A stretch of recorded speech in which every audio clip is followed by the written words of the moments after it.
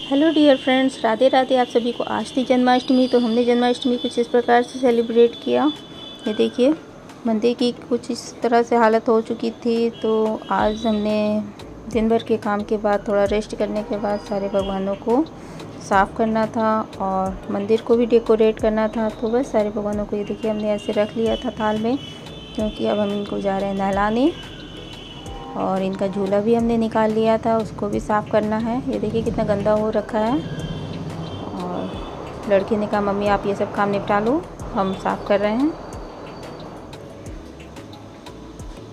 तो हमने ये सब काम करने के बाद उनकी साफ़ सफ़ाई की और ये लड़की की डेकोरेशन स्टार्ट हो गई है।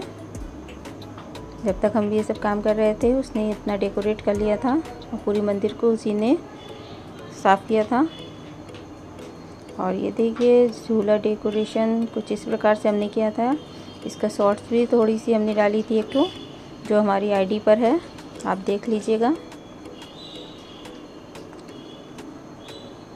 और ये देखिए, झूला धुलने के बाद कितना साफ़ लग रहा था।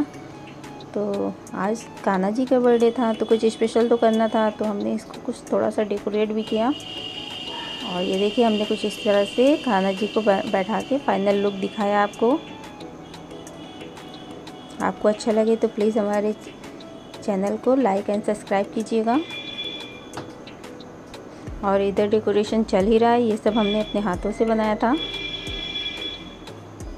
देखिए, साफ़ सफ़ाई के बाद कितनी सुंदर मंदिर लग रही है। आज मेरे लड़के का व्रत भी था पूरा दिन। और उससे पूरा बहुत ही काम पड़ गया था ये सब। ये सब पूरा उसी ने किया था। बताइए आप कैसा लगा आपको?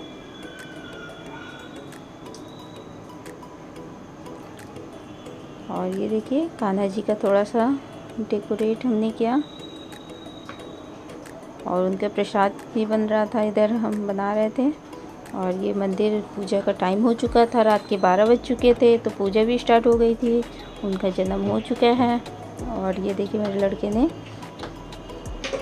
पूजा स्टार्ट की है। उनको वस्त्र और उनके जेवर, ये सब पहनाना शुरू कर दिया है।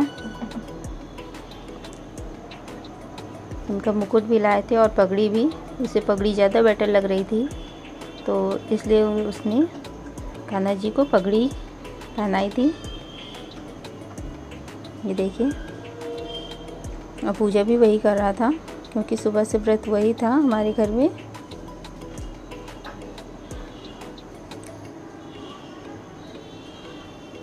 वो बहुत छोटा था, तब से वो व्रत कर रहा है। उससे अंदर से बहुत खुशी रहती है। कहते नहीं कि तुम व्रत रखो, पर वो अपने से ही ये सब करता है। और जैसे कि कान्हा जी का बर्थडे होता है तो रात्रि में काफ़ी आंधी, तूफ़ान और बारिश होती है। तो बस आज वैसा ही मौसम था बिल्कुल। इतनी तेज़ आंधी, तूफ़ान और बारिश हो रही थी बाहर।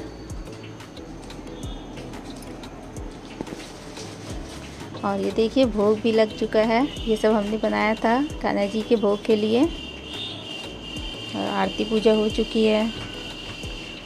वो पूजा कर रहा था और हम आपके लिए ब्लॉग शूट कर रहे थे।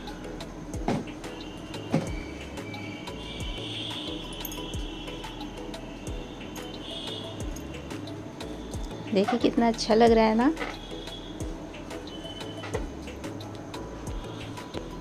उसने पूरे मन से पूजा आरती की और हमने कुछ इस प्रकार से सेलिब्रेट किया, जन्माष्टमी को और आपके साथ शेयर किया।